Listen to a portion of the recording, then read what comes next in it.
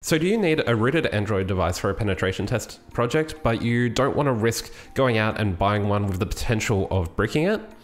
Well, today I'm going to show you my method on how to virtualize Android devices.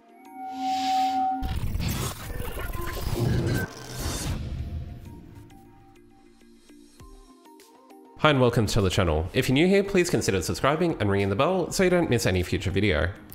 So if you're a penetration tester or you just want to play around with virtualized Android devices, then this video is for you. Up until I worked out this method, I would use an array of Android devices, all running different versions, and I'd have to physically use them in my hands a lot of the time rather than just staying all on the computer. This method has really simplified a lot of my workflow and it's just made things a lot easier for me. So overall this process is quite simple to follow, but there are a few caveats here and there, which I will cover in this tutorial.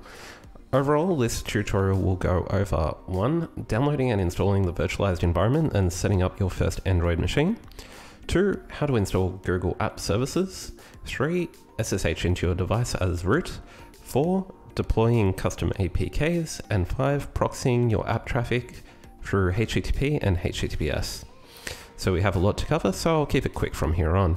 Go to genymotion.com slash download and download the version with VirtualBox, so the second one here. Download and proceed to install it just as any other file. Once installed, you'll have the following three icons on your desktop. Be sure to run Genymotion, and this will be your initial user interface where all your devices are listed here. So obviously you won't have any devices when you open this for the first time, so click the plus icon to create your first device and go to custom phone or tablet. You can give it a name and select its screen resolution. Android version, I prefer to use 9 as that seems to be the most stable. You can set the custom process and memory size and be sure to set the network mode to bridged with your primary interface. This will allow us to SSH into the machine afterwards as it's not sharing the same IP address as your host. And click install. This will take a few moments to create the Android device. And when complete, you'll get this little pop-up here, so feel free to hit that start button. Again, this will take a few moments to start up, especially if it's your first time starting this virtual device. And that completes step one. We now have our Android device.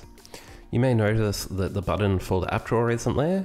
You can simply access this by clicking and sliding up. Now we're ready for step two, installing Google App Services. This is important so you can access any of the Google apps as well as Google Play.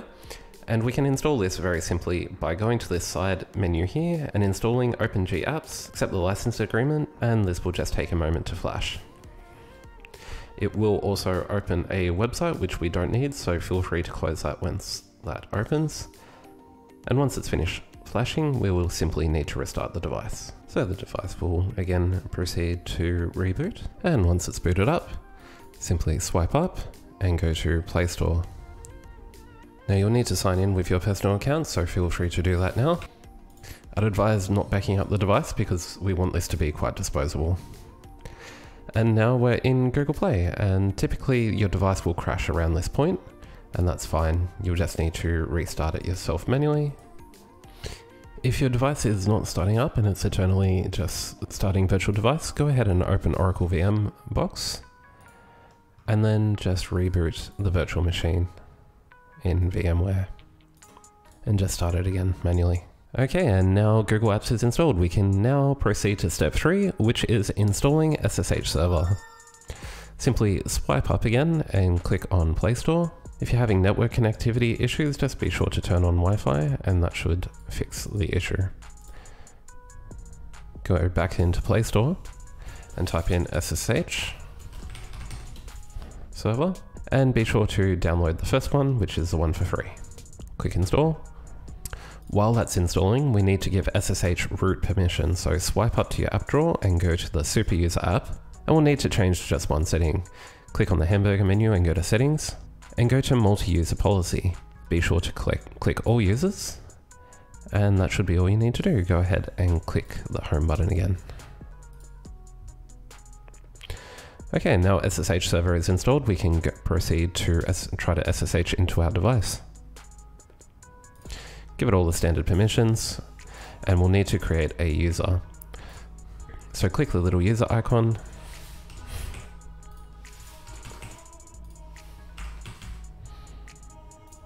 And create a user. Go back to the Home tab and click Start, and you'll see it's listing on a lot of IP addresses. Simply just find out the same IP address that your host subnet is on, which is, for me, the first one, and just use a SSH client like PuTTY to SSH into that device. And be sure to specify port 2222. So we log in as the user we created, and we've logged in as Jace Pass. Now to get into root, we need to just su root, and we'll get a little pop-up here. Just click remember this choice forever and click allow. Now if we do ID, we can see that we're running as root. And now that brings us to step 4, installing custom APKs. Up until now, we've just used everything on the device and on the App Store, but if you have a custom APK you want to deploy into your virtualized Android machine, you need to install a compatibility framework first. The link in the description will include the link to this Git page, which will have the Genymotion ARM translation for all Android versions from 4.3 to 8. While this only goes up to version 8, version 8 will still work on Android 9 and 10. So go ahead and download that zip file, and once it's downloaded, all we need to do is drag and drop it into our virtual machine. It will ask you permission to flash the ROM and just click OK. It will proceed to flash and then restart the device. And when our device has rebooted for the final time, we can install an APK file simply by dragging it from Windows Explorer into the virtual machine.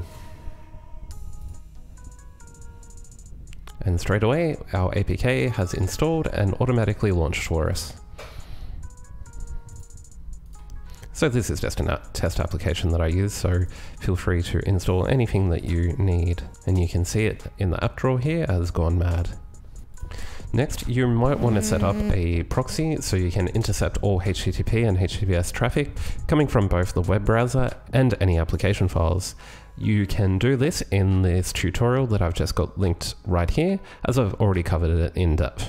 Congratulations, you now have a rooted Android device to work on, which is completely virtualized. The beauty of this is that this device is disposable, you can back it up, you can share it, you can destroy it, anything you want really, and it's just so much easier to maintain. If you'd like more mobile penetration testing content, be sure to leave a comment below and let me know what you'd like to see. That's it for this video, I hope you learned something, and if you did, be sure to hit that like button. Not only does it help me out, but it helps people like you find content like this. Anyway, I've been Jason from JSON SEC, thank you so much for watching, and I'll catch you in the next one.